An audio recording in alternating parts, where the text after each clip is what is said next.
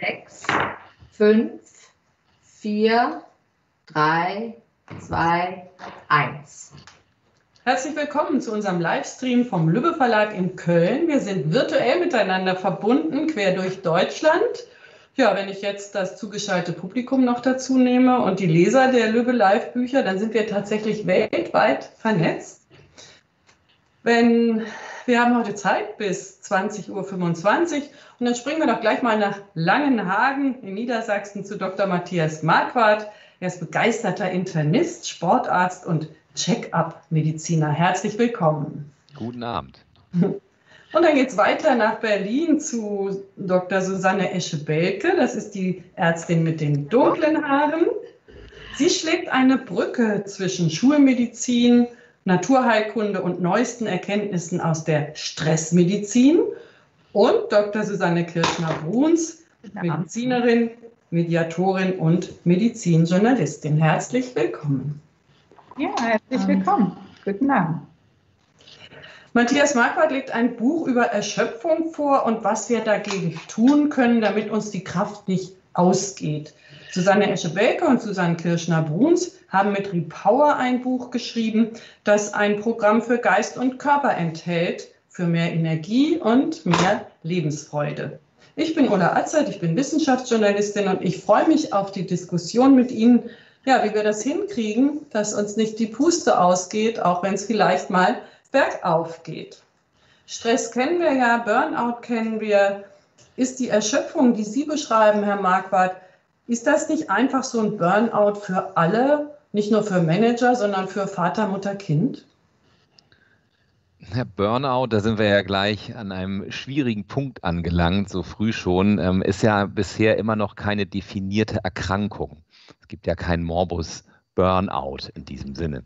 Also wir haben keine Definition und äh, es wurde jetzt eine für das Jahr 2022 von der WHO erwirkt und bevor die überhaupt in Kraft tritt, ist sie schon hochgradig umstritten. Da wird das Ganze nämlich nur auf das Arbeitsverhältnis festgezurrt. Also Burnout ist so eine Qualle, wie man sagt, was die Definition angeht. Man kann es schwer greifen, aber irgendwie ist es definitiv da, dass Menschen sich überlasten, mit ihrer Arbeit und Sozialsituation nicht zufrieden sind. Aber Burnout bedarf schon der Präzisierung und gerade wenn wir über Erschöpfung sprechen, gibt es natürlich noch andere Dinge, die man dringend abgrenzen muss. Also wer sagt mir, wenn jemand erschöpft ist im ersten Moment, dass es keine Depression ist? Wer sagt mir, dass es keine Schilddrüsenunterfunktion ist? Wer sagt mir, dass es keine Herzschwäche ist? Wer sagt mir, dass es beim Sportler kein Übertraining ist? Wer sagt mir, dass es bei einer jungen Frau kein Eisenmangel ist? Ähm, all das kann Erschöpfung machen. Und ähm, ich würde mich nicht zu vorschnell auf das schwierigste Thema ähm, Burnout stürzen. Erschöpfung, das ist ja so, wenn die Menschen zu Ihnen in die Praxis kommen, dann sagen sie, ich bin müde, ich bin erschöpft. Wie gehen Sie denn dann vor, um eben zu sehen, wo sind wir jetzt in der Depression oder im Burnout oder im Eisenmangel oder vielleicht, die Damen haben sich ja sehr auch auf die Hormone bei den Frauen ähm, kapriziert, sind es vielleicht auch Hormonprobleme? Wie gehen Sie vor, um eben zu sehen, was ist jetzt mit diesem Patient, mit dieser Patientin? Also grundsätzlich würde ich immer sagen, das ist eine eiserne Regel, erstmal das Körperliche abklären, dann die psychischen Ursachen ähm, mit in Betracht ziehen.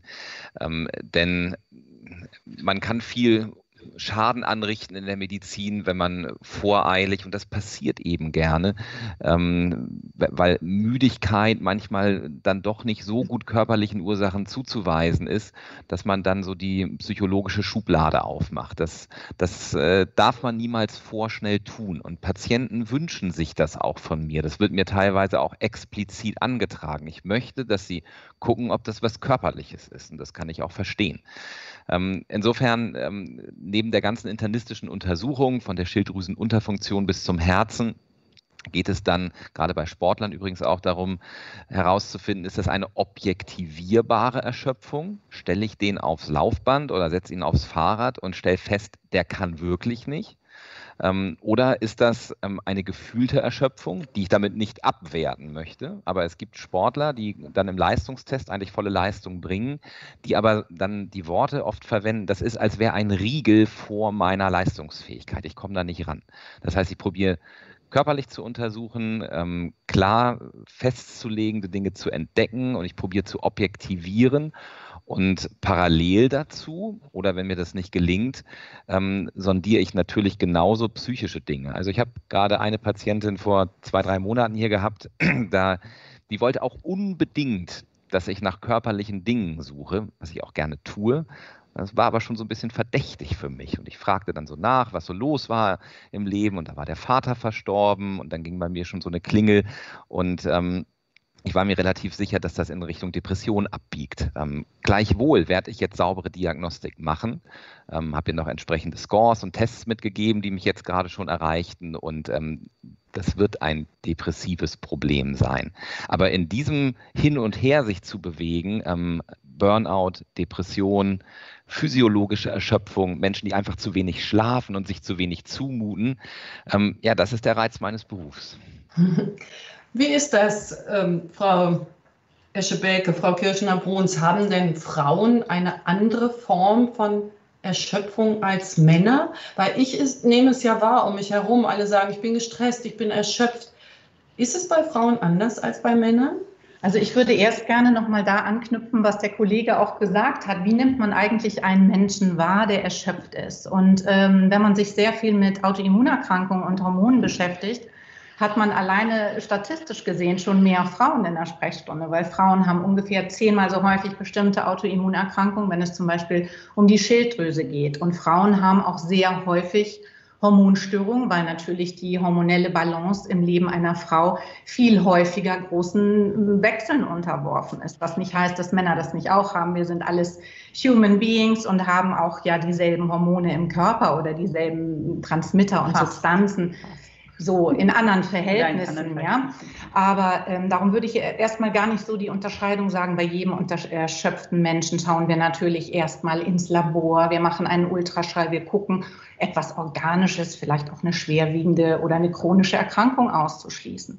Und dann ist es aber so bei mir in der Sprechstunde, dass ich ähm, sehr in dem Bereich der funktionellen Medizin beheimatet bin. Und die hat so als Bild den Baum der Mensch als Baum und aus welchen Wurzeln speist sich dieser Baum? In welcher Lebenssituation ist ein Mensch? Was hat er für Erfahrungen gemacht? Ist aktuell, steht eine Scheidung an, gehen die Kinder aus dem Haus? Also, dass man wirklich einmal sich vom Umfeld ankommt. Wurde der Arbeitsplatz gewechselt, der Wohnraum gewechselt? Was hat das ganze letzte Jahr mit den Menschen gemacht? Dann guckt man, was nährt ihn? Ist er, hat er eine Grundresilienz? Was stärkt ihn? Hat er ein gutes soziales Umfeld? Kann er aus sich selbst eine gewisse, kann er seinen inneren Arzt aktivieren? Und wie kann das geschehen? Wie ernährt er sich beispielsweise?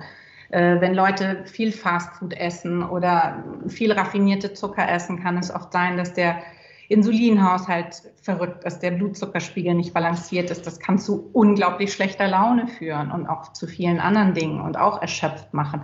Also die Dinge greifen alle so ineinander und natürlich ist das schulmedizinische sollte sowieso immer alles beinhalten, weil Körper und Geist ja auch nicht getrennt sind, sondern auch nicht nur so funktionell äh, miteinander verbunden sind, sondern auch über alle Stoffe, die in unserem Körper herumschwirren. Das wissen wir ja, dass man Stress messen kann. Darum geht es ja sicherlich auch beim Kollegen in seiner Funktionsdiagnostik auch. Dass man das schwarz auf weiß weiß, dass es nicht nur, äh, ich fühle mich gestresst, sondern Sie können ja auch die Hormone dazu messen mhm. und dann Aussagen darüber machen. Auch die Stresshormone. Genau. Ja. Mhm. Das heißt, man kann mitnehmen, es wird erstmal ein richtig großer Check-up gemacht.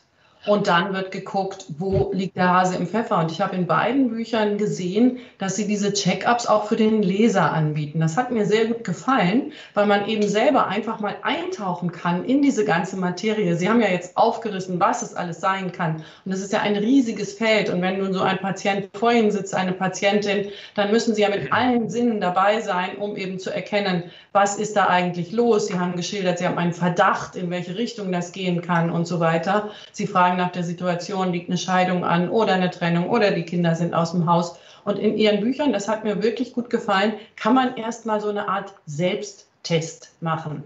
Das bieten Sie beide an. Ähm, was ich sehr cool fand in dem Repower-Buch der beiden Damen, da gibt es ein Care-Programm für jedes Organ. Den Darm, die Nieren, die Schilddrüse, da ist dann auch die Seele dabei. Mhm. Frage ich doch gleich nach, wie kriege ich denn eine glückliche Schilddrüse? Eine glückliche Schilddrüse. Ich, ähm, wenn ich äh, ein bisschen noch ausholen darf, weil ähm, uns das wirklich auch sehr wichtig ist mit dem Care-Gedanken. Wir haben äh, diesen Care-Gedanken aus unserem ersten Buch aufgenommen, das heißt Mit Love Care. Und dieses Buch jetzt ist so etwas wie ein äh, praktisches Buch eben auch dafür, wo wir sagen, was sich auch noch weitet. Also wo wir wirklich sagen, ähm, wir lieben dieses Wort, was aus dem Englischen kommt, to take care. Also wir kümmern uns, wir kümmern uns als Ärzte, äh, wir kümmern uns ähm, aber auch um uns selber. Das ist die Aufforderung an jeden Leser und jede Leserin zu sagen, ähm, kümmere dich bitte auch, ja, ähm, so das, äh, was Susanne auch gerade schon sagte, äh, dass wir sagen, wir wollen auch gerne den Menschen, den Patienten, die Frau ähm, wirklich auch in die Eigenverantwortung nehmen und die Medizin auch individualisieren. Also sagen, Mensch, ich kann auch selber wirklich was tun.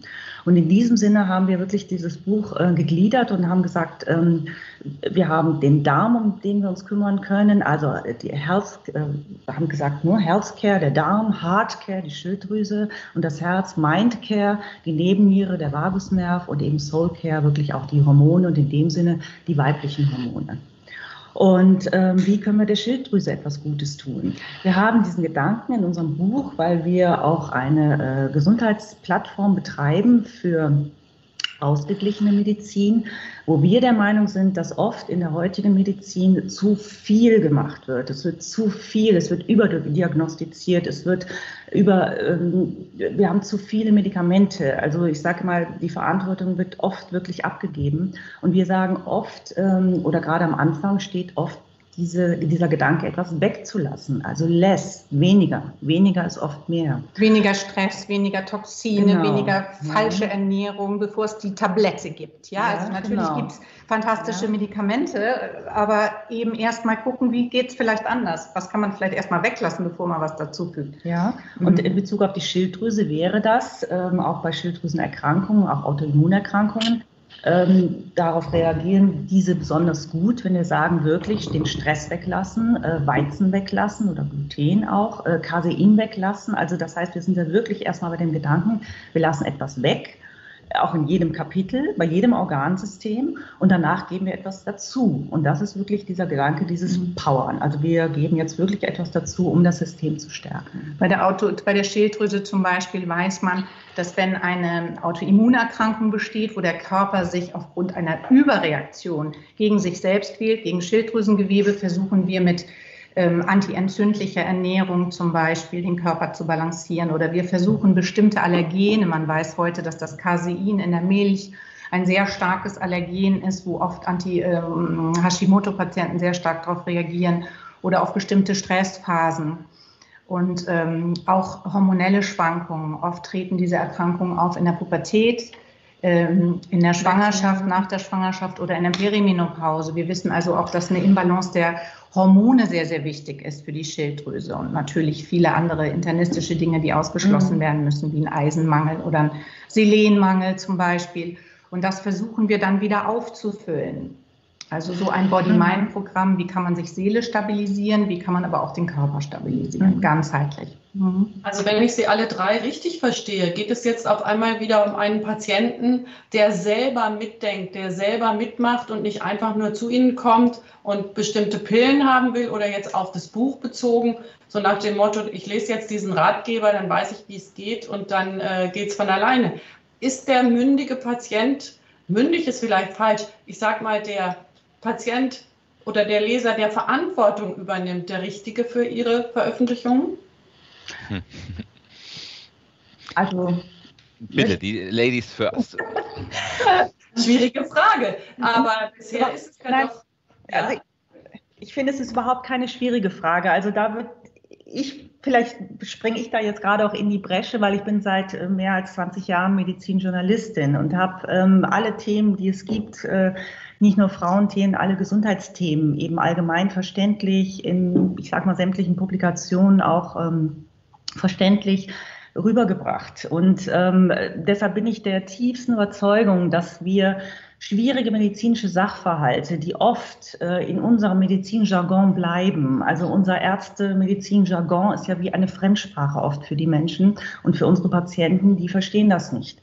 Und deshalb ist es, glaube ich, ähm, gar nicht so, dass wir sagen, wir brauchen unbedingt den ganz aufgeklärten Patienten hier, sondern wir vermitteln die Informationen. Das heißt, wir geben ähm, unserem Leser, unseren Leserinnen etwas an die Hand damit dieses schwierige Thema auch der Medizin und der Krankheiten allgemein verständlich mhm. wird. Und in diesem Sinne sozusagen vermitteln wir Wissen und wir vermitteln allgemeinverständliches Wissen, sodass der Leser sich aus diesem oder Leserin bei uns aus diesem mhm. Blumenstrauß eben auch ja. etwas aussuchen kann. Aber aus der Praxis ist es genau. äh, für mich da ganz eindeutig, die Leute sind müde, eine Sieben-Minuten-Medizin zu haben beim Hausarzt. Sie kommen rein, die wollen eigentlich wollen die eine Wissensvermittlung. Wenn man denen was erklärt, habe ich noch nie einen erlebt, der sagt, lassen Sie mal, ich, ich habe es eilig, ich will gehen, sondern natürlich wollen die Menschen eine Erklärung haben.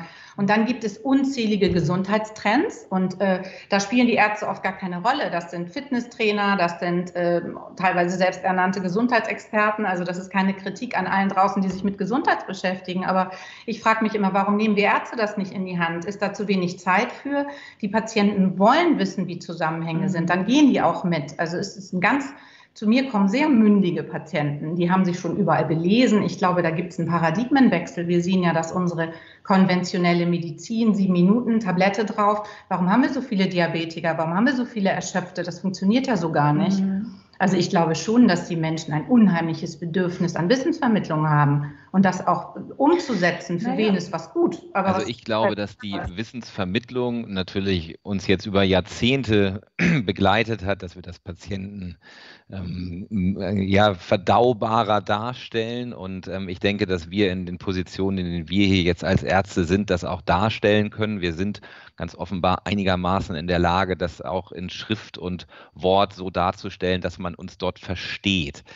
Ähm, ich bin allerdings schon seit vielen Jahren der Auffassung, dass dieses Verständnisproblem bestimmt an einigen Stellen noch bestehen mag, aber die Hauptpatienten, die ich hier habe, die nun sehr qualifiziert und mündig sind, also zu mir kommt man nicht, wenn man eine Tablette haben will, zu mir kommt man, wenn man keine Tablette haben will oder wenn es irgendwie partout nicht anders geht. Ähm, das sind äh, Menschen, die diese Aufklärung wollen, die sich auseinandersetzen und was mich betroffen macht und was mich über alle Maßen fordert, ist, dass ich eben manchmal zusammen mit diesen Patienten an Grenzen stoße. Also ganz regelhaft stoße ich an Grenzen, wenn es um das Thema Stress geht. Ähm, ich habe auch probiert, das in meinem Buch deutlich zu machen, dass wir immer wieder gesagt bekommen, du sollst deinen Stress reduzieren auf alle möglichen Art und Weisen. Und ich arbeite mich daran natürlich genauso ab mit meinen Empfehlungen. Aber wenn man eine nüchterne Analyse davon macht, dann haben wir es eben mit einem gesellschaftlichen Phänomen zu tun. Wir leben in einer Steigerungsgesellschaft und wenn wir anhalten, werden wir von anderen Ländern überholt. Wenn wir als Mediziner anhalten, werden wir von anderen Praxen überholt. Und wenn Sie ähm, einen Supermarkt betreiben und sagen, ich mache das so wie vor 20 Jahren, dann wird es eben auch nicht funktionieren. Wir sind in dieser Steigerungslogik gefangen und die Dinge gehen immer schneller. Wir sehen ja auch jetzt, ähm, dass wir jetzt hier online zusammenkommen, kürzere Wege. Ähm, und ähm, das setzt die Menschen natürlich unter einen Tempodruck und das macht ihnen Stress. Und dann der weise Ratschlag, mach doch mal ein Wochenende ohne ohne Handy, ja, das ist bestimmt gut, aber es holt einem eben nächste Woche wieder ein. Und ähm, wenn Fernsehanfragen mittlerweile so verlaufen, dass jemand in der Praxis anruft und sagt, können wir morgen drehen? Und ich sage, nee, können wir nicht, ähm, weil die Sprechstunde ist voll. Dann haben wir ein Ausmaß von Beschleunigung erreicht, was man eigentlich kaum mehr kontrollieren kann. Und wenn dann jemand, der Geschäftsführer ist beispielsweise, in dieser Situation vor mir sitzt, dann ähm, weiß ich aus meiner eigenen Erfahrung, und Sie werden es wahrscheinlich auch kennen, ähm, wie schwierig das für den ist, das zu kontrollieren. Und ähm, das ist das eine, dieser gesellschaftliche Einfluss und dann ähm, das motivationale Problem, was nicht immer leicht zu lösen ist. Ich habe hier einen Patienten vor Augen, den begleite ich gerade so seit ähm, zwei Jahren an, an der Schwelle zum Diabetes. Und ähm, der ist schlau, der weiß, dass er Sport machen muss, der weiß, dass er auf seine ähm, Kohlenhydratzufuhr achten muss, aber das kommt dann ja so bruchstückhaft über die Monate. Er kommt alle drei Monate zu mir und wir gucken auf diese Blutzuckerwerte und schauen, wie das mit der Insulinsensitivität aussieht. Und ja, dann erfährt man, dass er doch so gerne Brot backt und dass er das so gerne isst. Und ich kann ihn auch sehr gut verstehen, weil ich auch frisch gebackenes Brot sehr gerne mag. Und ähm, jetzt sind dann auch noch durch Corona alle Fitnessstudios zu und jeden Tag Fahrrad fahren möchte er bei Regen dann auch nicht und laufen kann er tatsächlich nicht wegen seines Knies. Und also da kommen ganz viele motivationale Dinge mit rein, wo ich sage, Mhm. Hoffentlich landen wir nicht irgendwann doch bei der Tablette, weil dieser arme Mann das einfach nicht mhm. hinkriegt. Ja. Und mhm. es ist mir dann auch wichtig, so dass ich da, fällt mir jetzt gerade so ein, kommunikativ auch umgeschaltet habe, um ihn dort nicht zu frustrieren und auch nicht zu verlieren, ähm, mhm. zu sagen, wenn wir das nicht schaffen, dann gibt es für sie auch die Tablette. Der ist nicht faul, aber ich glaube, er stößt an Grenzen. Mhm. Das ist, gehört ja. auch dazu. Also ich denke, ich sehe das ähnlich, wie Sie das sehen, aber ich finde, wir sind ja schon in einer Zeit, wo es ja doch Paradigmenwechsel gibt. Also nicht nur das ganze letzte Jahr hat ja viele von uns in eine plötzlichen Stillstand gezwungen, den ja, der ja kaum noch auszuhalten ist. Ja, viele schlafen ja schon nicht mehr, weil sie so wenig zu tun haben. Ja, die können sich so viel aufruhen, dass sie schon ja. Schlafstörungen kriegen. Und ich denke, das ist auch ja eine gewisse Haltung, die man vermittelt. Natürlich als Arzt, aber auch innerhalb der Gesellschaft. Es gibt doch sehr viele Menschen, die ähm, das Gefühl haben, sie gehen zurück zur Natur, die wollen aufs Land ziehen, die wollen Brot backen, die wollen äh, eine ökologische Tierhaltung, die ich sehe das, äh, ich habe drei Kinder im jugendlichen Alter, äh, zwei von denen sind Vegetarier. Also das sind überhaupt gar keine Ausnahmen. Ja? Also ich sehe, dass da eine ganz andere, bewusstere Generation ranwächst. Ähm, das Thema Mikroplastik ist ein Riesenthema, Umweltverschmutzung, Mikroplastik ist ein hormoneller Disruptor. Das sind alles Themen, mit denen müssen wir uns beschäftigen. Neben der klassischen Medizin gibt es so eine Vielfalt von äh, Faktoren, die uns beeinflussen. Und ich selbst habe in einer sehr stressigen Phase, ich sage immer die Rush-Hour des Lebens, die uns alle trifft, wo wir noch äh, vielleicht Kinder zu versorgen haben, an unseren Beziehungen basteln und unsere Karriere vorantreiben wollen und vielleicht noch das Haus einrichten. Ja, dieser Perfektionismus, Herr Marquardt, von dem Sie auch gesprochen haben, ja, dieses alles gleichzeitig und in der Mühle gefangen sein.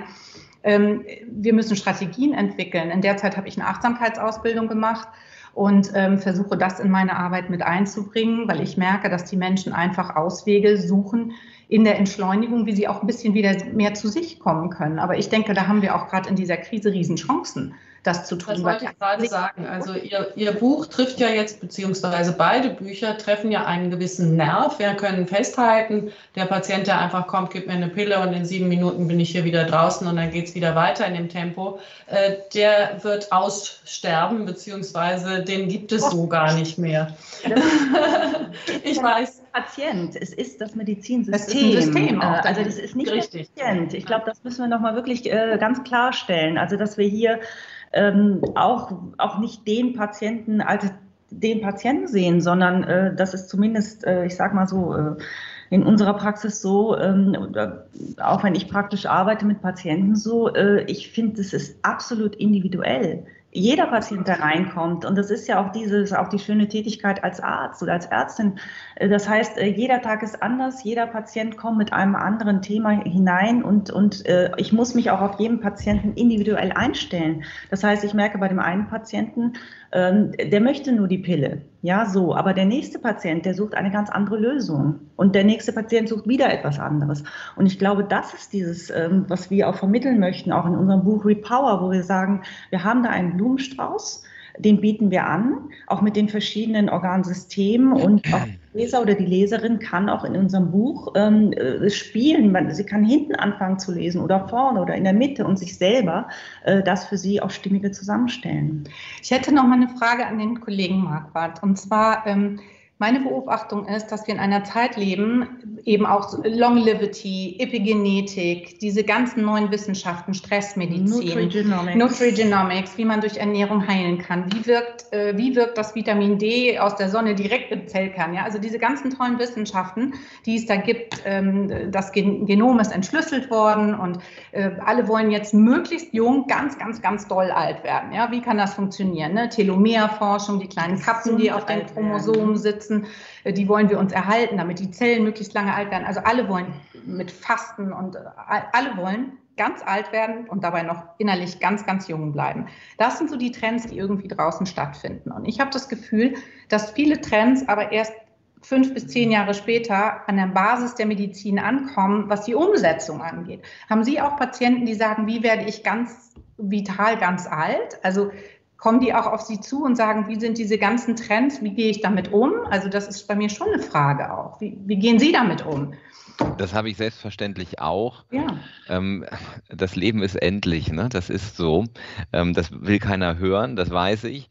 Ähm, und ich muss manchmal auch schmunzeln, wenn ich auf der einen Seite bei einem Patienten händeringend ähm, um eine katastrophal eingestellte Gicht kämpfen muss und ihm die Füße wehtun auf der einen Seite, weil da einfach viel zu viel Wein, viel zu viel Alkohol und andere Dinge sind, die er nicht verträgt.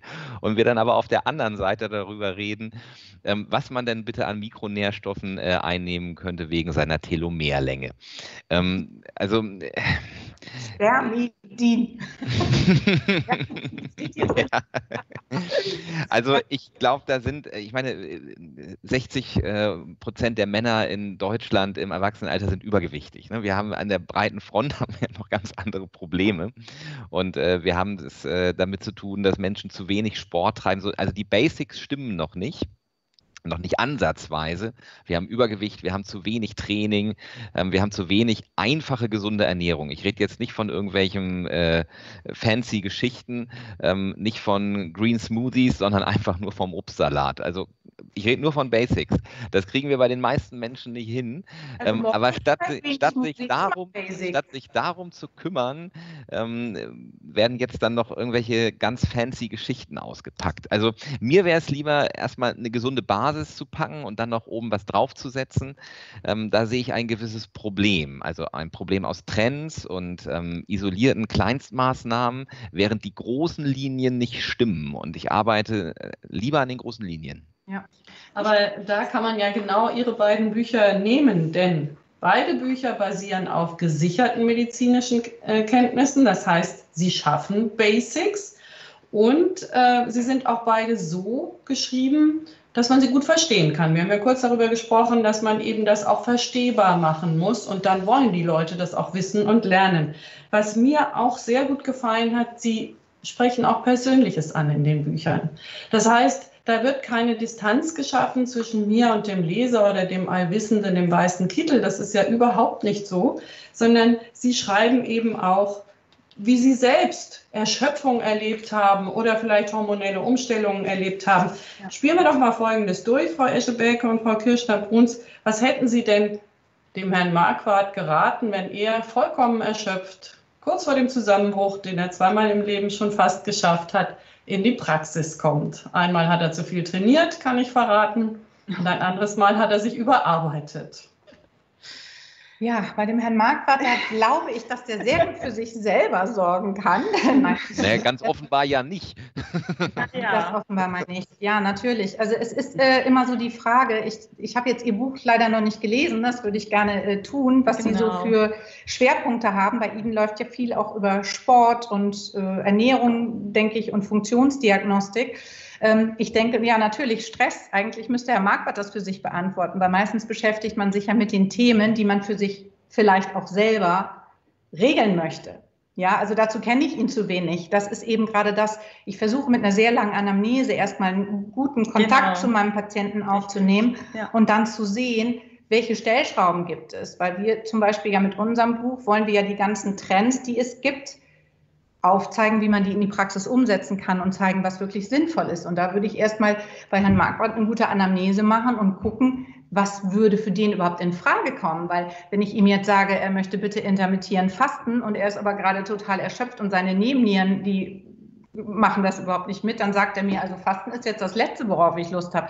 Also ich glaube, so also kurz so schnell, mal, genau, kurz mal aus der, können wir nicht stellen. Kurz mal aus der Diagnose, das kann ich wirklich so nicht sagen, weil das nicht das die Art ist, wie wir arbeiten. Das ist, auch, das ist, auch, unseriös. Also äh, ohne dass genau. ich jetzt hier. Äh, Miss Frau Azad, was machen wir denn jetzt? Nein, es ist ja Absicht, dass ich so frage, weil ja. Sie dadurch einfach klar machen können, wie Sie arbeiten und wie Ihre Bücher auch geschrieben sind. Genau. Denn es sind ja zwei Dinge. Einmal sind sie in der Praxis erlebbar, auch in der Online-Praxis. Äh, sie sind als Menschen erlebbar, als Ärztinnen erlebbar. Aber in ihren Büchern ist es ja nochmal diese Geschichte, dass sie eben den Leser in die Lage versetzen, Verantwortung zu übernehmen, Wissen zu erlangen, Wissen, was er versteht, selbst also schon Dinge zu leisten, die sie in ihrer Praxis dann vielleicht auch machen würden, aber dann nicht mehr machen müssen.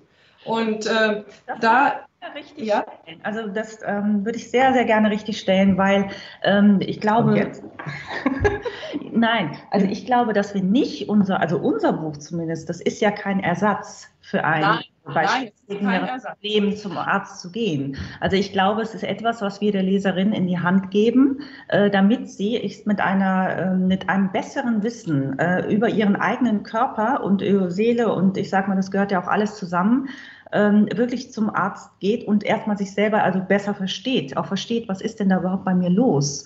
Und es ist aber nicht, ähm, ich würde gerne diesen Leistungsgedanken wegnehmen in der Diskussion. Also wir, wir schreiben das Buch nicht, um noch mehr Druck aufzubauen und mhm. zu sagen, Mensch, wir wollen Druck rausnehmen. Äh, ja. ja, wir wollen den Druck rausnehmen und wir sagen nicht so, liebe Leserin oder lieber Patient, hier ist das Buch und jetzt mach mal bitte alles alleine und wenn du dann in die Praxis kommst, ja, dann äh, möchte ich auch gar nicht mehr so viel tun, sondern ja. es ist eher dieses ähm, wirklich ein Team Team zu bilden, wo wir sagen, wir wollen ein Team bilden mit dem Patienten, mit anderen Ärzten, mit ähm, auch interdisziplinär, um zu sagen, was ist denn da wirklich los und wie können wir umfassend helfen. Mhm. Interessant ähm, finde ich an der Stelle, wenn ich da was einwerfen darf, noch den Beweggrund, so wenn ich ganz weit zurückblicke. Also ich habe es ja ähm, ohne das jetzt irgendwie äh, selber gut zu finden, tatsächlich zweimal geschafft, mich da sehr zu überlasten. Und jetzt denkt man ja gut, also zweimal, einmal einen Fehler machen darf man, zweimal, das ist dann ja Dummheit. Ähm, vielleicht ein bisschen, aber als ich als junger Sportler mich eben kolossal überlastet hatte mit ähm, zu vielen Projekten, Medizinstudium, Ironman, Triathlon, dann das erste Buch geschrieben, Staatsexamen und alles auf einmal. Und ich dachte, ich schaffe das. Ähm, kolossale Überlastung. Ähm, was da für mich ein ganz wichtiger Punkt war, wenn wir jetzt über die Sichtweise des Patienten sprechen, ist, ich war völlig allein mit der Situation. Ne? Ich war irgendwie Anfang, Mitte 20 und ähm, ja, dann kommt man aus so einem Trainingslager wieder und es geht nichts mehr. Man rollt mit dem Fahrrad die Straße entlang, hat einen Puls von 140 und denkt, das ist jetzt nicht mehr gut.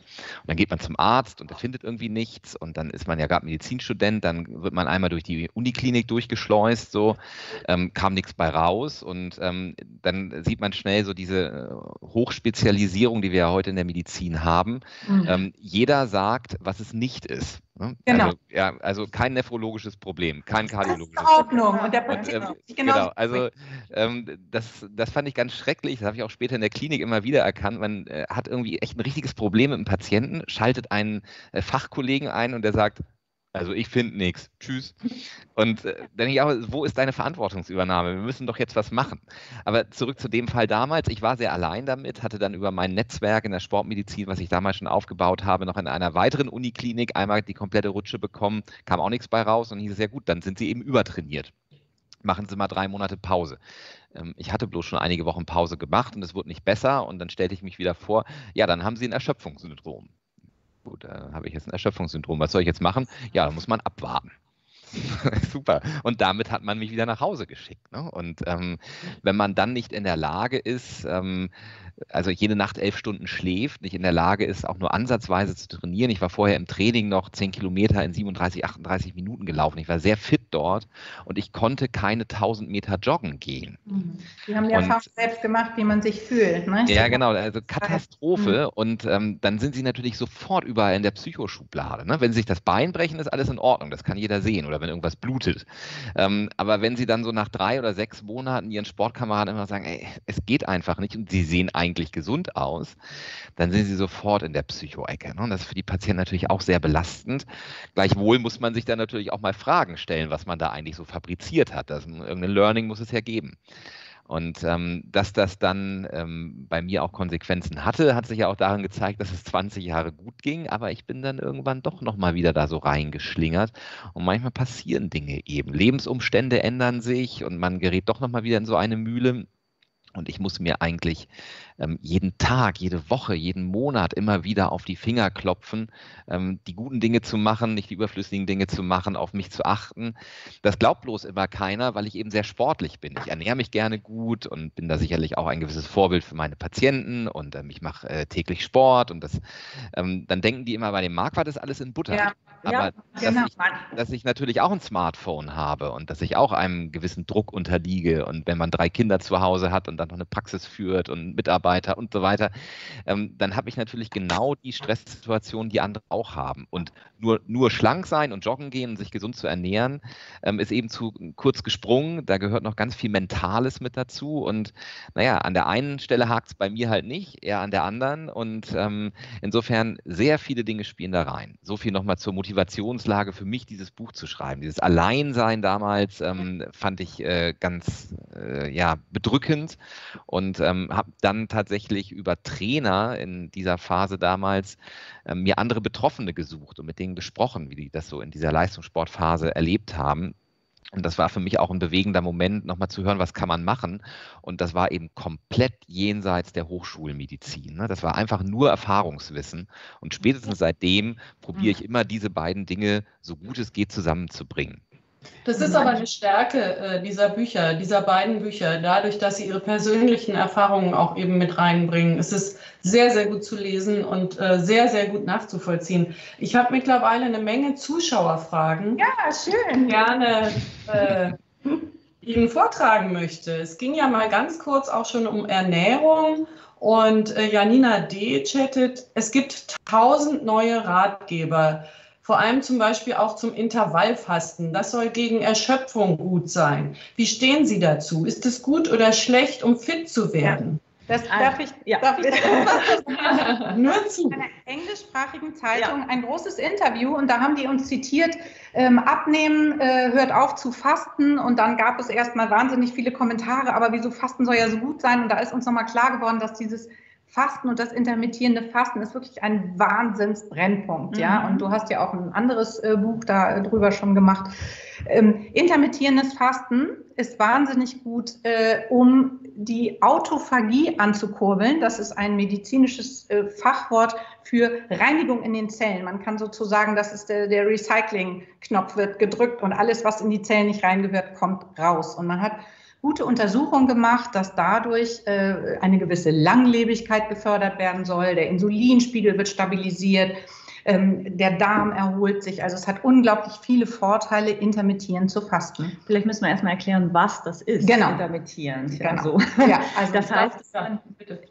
also das Ja. heißt, man eben äh, täglich, also es gibt verschiedene Formen, man kann, äh, ähm, also das gängigste ist, dass man eben täglich fastet und zwar wirklich ähm, am Stück. Männer 16 Stunden lang nichts essen, Frauen 14 Stunden lang nichts essen und ähm, meistens eben schafft man das, indem man früh zu Abend isst und spät frühstückt. Also 16 zu Also 8, wirklich- 8 Stunden isst, 16 Genau. Stunden Pause macht, Ja. da eignet sich gut, eben das Frühstück Genau. wegzulassen Also oder das ist spät so, zu machen. Genau. das Gängige. genau. Was aber, ähm, wenn, wenn. Menschen Genau. eine, eine erschöpfte Nebenniere haben, ist unsere Erfahrung, da gibt es auch gute Studien drüber, äh, und deren Cortisolspiegel, der so einer Tagesrhythmik unterliegt. Also morgens ist das Cortisol hoch, damit man aufwacht und gegen Abend äh, mit einem bestimmten äh, Peak geht es dann runter. Dass wenn Menschen absolut erschöpft sind und die dann noch fasten und unterzuckern, also fragen Sie meine Mutter, die gerade aus der Entbindungsklinik kommt und wirklich auf den Zahnfleisch geht, ob die noch Lust hat, jetzt äh, 16 zu 8 oder ganze Fastentage oder Das eine ganze auch nicht, ja. Fastenwoche noch zu machen. Also das ist was sehr, sehr individuelles und äh, meine Erfahrung ist, wenn was akut ist, dann ist Fasten nicht das Wahre. Mhm. Ja, ich weiß nicht, wie, äh, wie der Kollege das sieht oder wie andere Erfahrungen Mhm. sind. Also wie gesagt, das ist natürlich auch, gibt es eine gute Studienlage drüber, aber wenn man erschöpft ist zu fasten, ich weiß nicht, wie Ihre Erfahrung ist. Also ich Also, halte Ich glaube, man muss ja wirklich das, ich glaube, man muss es wirklich auf den, auf den Patienten runterbrechen. Wenn eine Erschöpfung sich aus, ich probiere es mal einfach zu formulieren, aus einem zu viel ergibt, ähm, an, ein zu viel an Ernährung und einem zu wenig an äh, Bewegung und äh, quasi, ich würde jetzt mal das Wort Lethargie auch in den Mund nehmen. Also zu viel Netflix, zu wenig Bewegung, zu viel Pommes und so weiter. Wenn jemand dann einen schlechten Mikronährstoffstatus hat und in so einer übersättigten Situation ähm, mental dann keine Spannkraft mehr hat und sich müde fühlt. Ich könnte mir vorstellen, dass das da auch ein Schlüsselbaustein sein kann, ähm, zusammen mit anderen Maßnahmen. Aber ich bin vollkommen bei Ihnen, dass es eben auch andere Situationen gibt, wo jemand ähm, sich möglicherweise auch schon gesund ernährt hat, ähm, vielleicht auch gar kein Übergewichtsproblem hat und vielleicht auf der mentalen Seite ganz viele Dinge schief laufen. Dann jetzt zu sagen, hier ist Intervallfasten die Lösung, das lege mir auch fern. Also ich glaube, dass man das wirklich sehr, sehr individuell entscheiden muss. Ja, es ist ja ein Hype. Wir haben ja über Hypes gesprochen. Ja, es ist ein Trend, aber man kann eben nicht einfach sagen, wer Intervall fastet, ähm, kriegt Kraft. Ich habe eine andere Frage noch. Äh, Holger S. schreibt, wenn ich die Nachrichten gucke, dann bin ich schon erschöpft. Corona ich, ich auch. genau. genau. genau. Noch Nachrichten, Holger. Corona, Klimawandel, Krieg. Wie soll ich mich da noch motivieren? Wir hatten ja auch über Motivation zwischendurch gesprochen. Noch dazu im Homeoffice ohne Urlaub. Kraftquelle, Fehlanzeige. Wie kann mir da ein Buch helfen? Tja, also dieses, äh, wenn ich da einmal einhaken darf, dieses äh, News-Thema finde ich wirklich ein riesiges Thema, weil es eben an der mentalen Seite sehr, sehr viel Negatives verändert. Wir haben nun mal eben eine Sensationspresse und wir haben ein äh, unfassbares Medienkonsumvolumen einfach erreicht.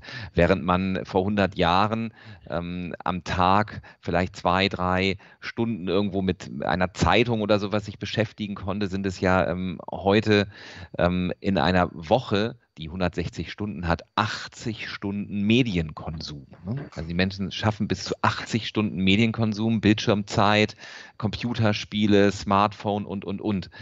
Und äh, wenn dann da hinzukommt, dass wir eben in diesen Medien ein, äh, eine Tendenz zum Clickbaiting haben, also das heißt, dass man Überschriften findet, die sehr aufreißerisch sind und uns animieren zu klicken. Ähm, wenn wir das Ganze auch noch durch Negativschlagzeilen erreichen, also negative Katastrophenmeldungen ziehen halt, dann werden wir vollkommen überschwemmt damit und das unterminiert natürlich unsere eigentliche natürliche Kraft auch positiv zu denken als wir uns früher am Lagerfeuer unterhalten haben oder beim Kartenspielen oder mit der Oma, müssen Sie mal so in Ihrem Leben zurückblicken. Sie sitzen mit Freunden zusammen, dann neigt man in den aller, allermeisten Fällen dazu, sich Mut zu machen. Geschichten, die erzählt werden, gehen in der Regel gut aus. Das, was die Oma erzählt, hat eigentlich ein Learning, was gut ausgeht. Und man sitzt ja selten mit Freunden zusammen und ergibt sich darin, wie schlimm alles ist. Und das nehmen wir uns aber mit diesen negativen Nachrichten round the clock, von morgens bis spät abends. Und äh, das unterminiert unser positives Denken und das nimmt uns die Kraft. Und dummerweise wird man da wie so ein Junkie abhängig von und denkt immer, da kommt noch mal was Neues. Ich gucke noch mal, ähm, was der Trump jetzt gepostet hatte vor einigen Jahren noch. Man denkt immer noch, da kommt jetzt noch was Spannendes. Und ähm, ich habe da auch äh, wirklich eine Abhängigkeit von entwickelt und ähm, habe das irgendwann gemerkt, als ich noch in der Klinik war, in den Nachtdiensten. Irgendwann habe ich drei, drei Newsportale durchgeklickt, weil ich immer dachte, bestimmt steht da noch irgendwas Neues. Und eigentlich drehte ich mich nur noch im Kreis. Ähm, was kann man tun? Ähm, harten Riegel vorschieben. Also ich habe bestimmte Dinge eben nicht mehr auf meinem Smartphone und ähm, habe tatsächlich die Wochenzeitung reaktiviert. Stichwort. Ja. Ähm, ich habe tatsächlich die Wochenzeitung reaktiviert. Ähm, das heißt, ich lese gerne, bin gerne informiert und ich lese gerne einmal am Wochenende oder unter der Woche einen vernünftigen Hintergrundartikel zu einem Thema. Aber ich muss mir eben nicht das Grundrauschen, nenne ich das immer, das Grundrauschen des äh, medialen Tagesgeschehens Geschehens, das ist für mich völlig irrelevant. Die Tageszeitung ist zu schnelllebig. Man nehme die Wochenzeitung, man nehme einige gute Bücher und den Rest, den bekommen Sie so schon noch mit. Aber jetzt möchten wir natürlich die Bücher ans Herz legen, also gerade äh, dem äh, Leser, dem Fragesteller. Was äh, kann er aus den Büchern herausholen? Und das ist wirklich die Motivation, gerade jetzt in dieser Zeit, wo wir zu Hause sitzen, wo wir eingesperrt sind, im Lockdown, ähm, im Homeoffice und so weiter. Na, ganz also, eingesperrt sind wir ja zum Glück nicht. Naja, aber ich sage jetzt mal, ja. So, ja, so. Und das ist genau ja die Idee, jetzt auch mit unserem Buch zu sagen, gerade da ähm, äh, aus dieser ähm, ich sag mal, wirklich in diese sehr schwierige Zeit oder in die Situation etwas hineinzubringen, wo wir sagen, wir, genau diese Power da wieder reinzubringen, die Energie, die ja sehr, sehr viele Menschen eben vermissen. Also auch Patienten, mit denen wir jetzt auch zu tun haben, die sagen, wo bekomme ich das wieder? Mhm, und machen da, wir auch ganz praktisch. Und das machen wir ja. ganz praktisch. Und das ist eben das, wo wir mhm. wirklich von Organ zu Organ gehen in unserem Buch und sagen, so, ähm, das wird jetzt wieder auf Spur gebracht. Ja. Und das gibt die Energie auch zurück. Auch wieder zu sagen, ich raff mich auf, ich gehe raus, ich gehe ja. joggen, ich setze mich aufs Fahrrad, selbst wenn die Fitnessstudios zu haben. Ja, ich kann trotzdem Sport machen, ich kann mich trotzdem gesund ernähren, um wieder auch mehr Energie zu bekommen und um auch wieder mental mhm. ähm, mit ja. Freude, ich sage jetzt auch dem Sommer entgegenzusehen. Ja. Also auch, ähm, hm, ja Ich sage so auch ein Stichwort, was ich eben eingeworfen habe, Dopaminfasten. Wir wissen, dass wir ein Belohnungssystem ähm, im Hirn haben, das über diesen Botenstoff Dopamin funktioniert. Das wird oft aktiviert, wenn Menschen rauchen, äh, Alkohol trinken, Dinge tun, ähm, also auch bei vielen anderen Sachen natürlich. Aber oft hängt das mit einem Suchtverhalten zusammen und man weiß mittlerweile auch, dass manche Menschen, die ein bestimmtes Gen haben, die springen mehr auf Suchtverhalten an auf andere als andere. Und wir wissen, dass die digitalen Medien natürlich auch einen totalen Suchtfaktor haben durch die Schnelllebigkeit, alles, was auch Herr Marquardt uns eben schon äh, erzählt hat, wie das läuft. Und es gibt einen, einen Trend äh, zu sagen, Dopaminfasten, wir gucken uns an, wo wir ein Abhängigkeitspotenzial sind und versuchen das eine gewisse Zeit aus unserem Leben zu verbannen, auch wenn das erstmal mit fast einem Schmerzgefühl verbunden ist, einem Entzug verbunden ist, aber das öffnet wieder ganz andere Kraftquellen in uns. Da, dem Ganzen widmen wir ein Kapitel, wie das äh, funktionieren kann. Und ja. wir ähm, gucken uns auch an, was haben, haben die Menschen früher gemacht? Kann man wieder zusammen kreativ werden? Kann man vielleicht wieder in ganz einfachen Dingen eine eine größere Freude empfinden, kann sich da etwas entfalten. Sie kennen alle Abende, wo man vielleicht nichts vorhatte, weil was ausgefallen ist. Und das sind die schönsten Abende geworden, die man hatte. Also gibt es vielleicht so gewisse Rückschritte, fast so ein Vintage-Gedanke, wo wir sagen, wunderbar. Ich zum Beispiel mache mit meinem Mann ähm, äh, Kaltschwimmen wir gehen morgens jetzt hier in Berlin in den Schlachtensee oder in einen sehr kalten See in Schweden, wo meine Eltern leben. Und das ist natürlich völlig irrsinnig, bei zwei Grad ins Wasser zu gehen, wenn sie da erstmal die, die Eiszapfen wegpicken müssen. Aber das ist so etwas, neue Gewohnheiten schaffen. Ja, man geht regelmäßig in diesen See, kann sich darüber unterhalten.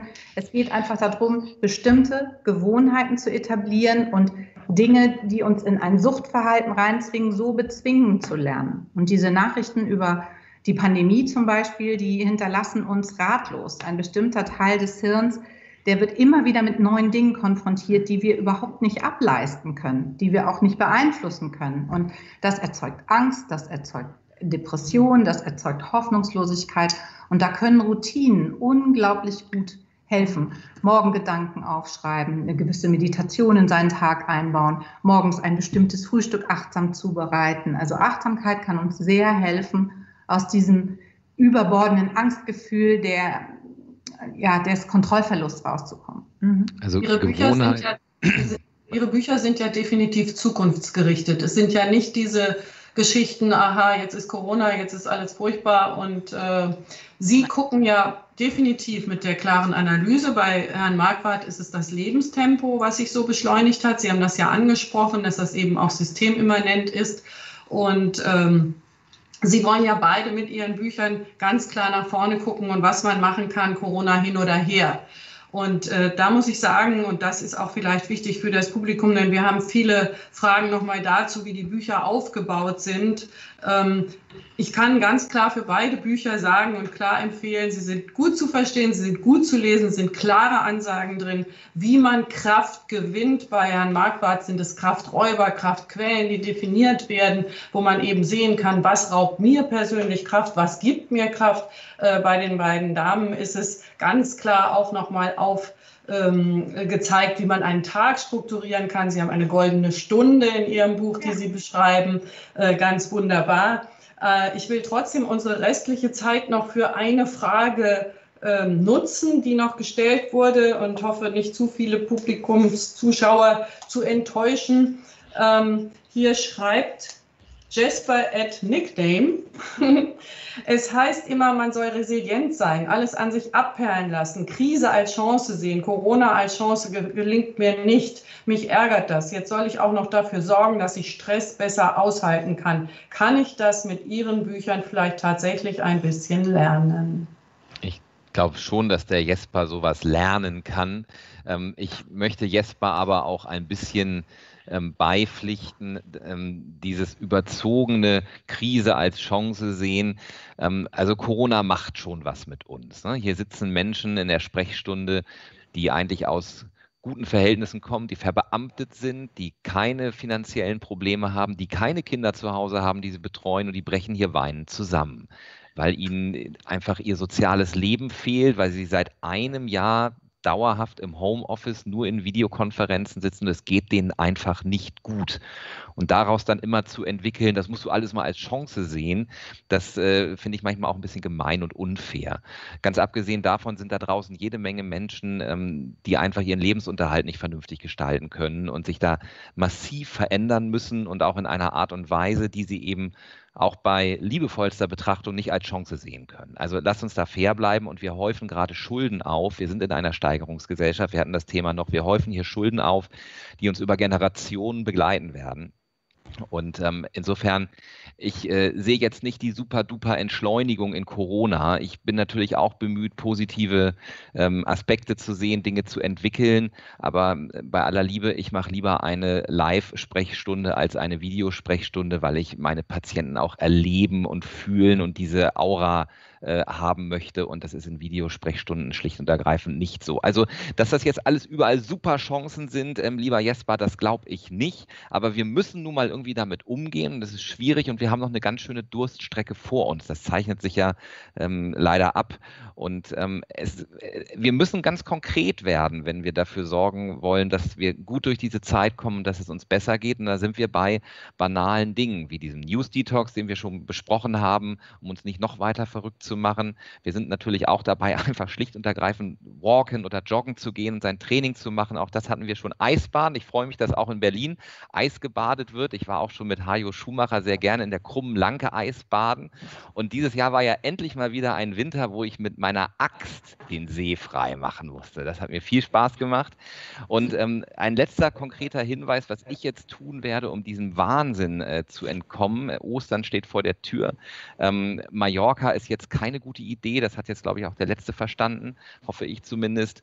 Ähm, aber ich muss ja irgendwas machen mit meiner Familie. Und ähm, wir haben immer Radwanderung gemacht. Da mache ich dann, bleibt das Handy zu Hause und dieser Dopaminentzug dauert bei mir immer so zwei Tage. Dann denke ich immer, jetzt müsstest du noch mal und das lässt dann aber langsam nach. Und diese Radwanderungen zu machen, wir haben jetzt einfach Zelte besorgt, ähm, obwohl ich eigentlich nicht so der Camper bin.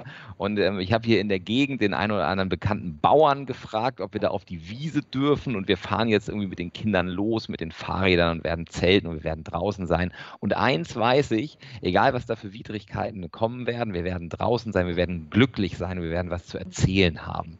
Und äh, solche Momente können wir eben auch ein Stück weit steuern. Wir können das ja. nicht alles, wir ja. können nicht dafür sorgen, dass wir glücklich sind im Detail, aber wir können so ein bisschen den Boden dafür schaffen. Und mit Netflix und Pizza schaffst du es nicht, lieber Jesper, aber mit dem Fahrrad draußen im Wald schaffst du es bestimmt. Ja, würde gerne auch noch etwas Abschließendes dazu sagen. Also Resilienz ist ja nichts, was man an- oder abknipsen kann. Das ist ja sowas wie so ein Muskel, den man über sehr, sehr lange Zeit trainieren kann. Da kommen ja viele andere Dinge dazu, ob jemand Resilienz entwickeln kann oder nicht, wie jemand aufgewachsen ist.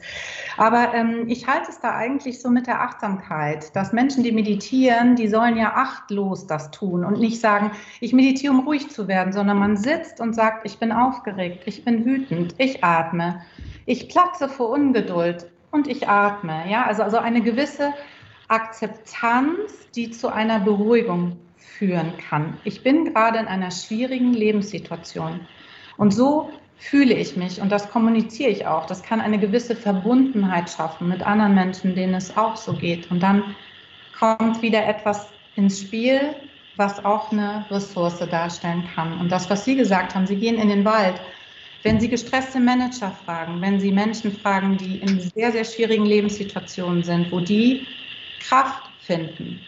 Es gibt Untersuchungen, jeder hat seine Kraft in der Natur gefunden. Ob einer in die Hütte gezogen ist und da ein Feuer gemacht hat oder ob einer in die Alpen gefahren ist oder Schwimmen geht regelmäßig. Jeder Mensch, egal welcher herkommt, wenn man das zurückverfolgt, findet Ruhe und eine Geborgenheit wirklich in der Natur. Also viel rausgehen. Also auch im nächsten Park. Ja, ja. So. Also man muss jetzt äh, nicht, ja. äh, genau, nicht mit dem Auto äh, nach Österreich, sondern wirklich auch um die Ecke in den Park, unter den Baum, auf die Bank. Ähm, wirklich auch dieses draußen sein. Das mhm. ist, äh, ja, und ja. Wir sollten alle angesprochen, ne? ein bisschen Vintage im besten Sinne, so ein bisschen zurückgehen in das, was einen gut getan hat. Ich nehme gerne mit dieser Anregung Geschichten erzählen, die gut ausgehen, so wie schöne Märchen und äh, nicht immer die schrecklichen Nachrichten sehen. Ja, geht uns allen die Puste aus, was wir tun können, um gegenzusteuern, Kraft für Gegenwart und Zukunft zu haben und dies auch auszustrahlen und weiterzugeben. Darüber haben wir heute viel mitnehmen können. Und vielen Dank für Ihre Zeit. Ich sage Tschüss mit einem Zitat vom Dalai Lama, das habe ich mir zurechtgelegt. Es gibt nur zwei Tage im Jahr, an denen man nichts tun kann. Der eine ist gestern, der andere morgen. Heute ist der richtige Tag. Schön, danke. Vielen Dank. Vielen Dank. Vielen Dank und, und verbunden. Genau. Ja, frohe Ostern und viel Spaß beim Zelten, beim Meditieren. Eisschwimmen klappt ja dann nicht mehr, ist ja jetzt zu warm. alles, alles Gute Ihnen und Repower und Erschöpfung sind die Titel der Bücher bei Lübbe Live erschienen und tatsächlich sehr empfehlenswert. Vielen, Vielen Dank. Dank für das Gespräch. Tschüss. Tschüss.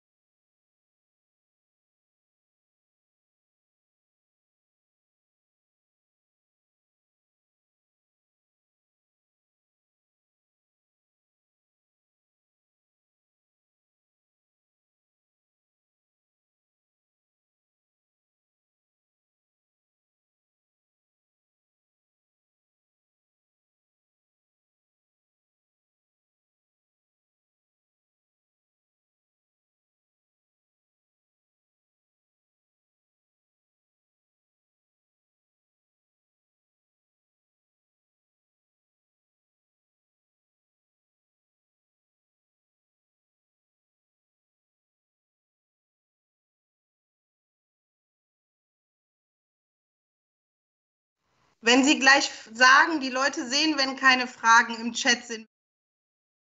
Wenn jemand äh, vorab eine Frage gestellt hat, dann sagen Sie nicht im Chat, sondern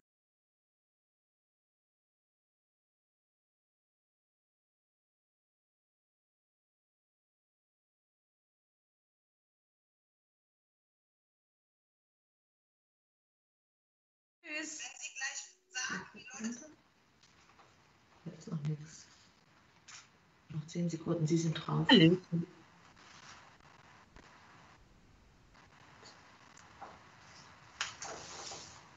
Der Po zu dick, die Brüste zu klein, das Haar zu dünn. So beginnt der Text auf der Rückseite des aktuellen Buches Zeiss egal von Caro Matzko und Tanja Marfo. Herzlich willkommen in unserem Chat hier vom Lübbe Verlag. Hallo. Caro Matzko und Tanja Marfo sind dünn und dick, dick befreundet und dünnhäutig gewesen, sobald es um ihre Figur ging. Dabei sind beide absolut erfolgreich. Caro Matzko als Moderatorin von Wissenssendungen, unter anderem zu sehen im bayerischen Fernsehen im Club 1. Und Tanja Marfo ist eine YouTube-Ikone, wenn ich das mal so sagen darf, mit ihren Blogs, mit ihren Workshops und Events spricht sie männlich, weiblich und divers an auf kurvenrausch.de.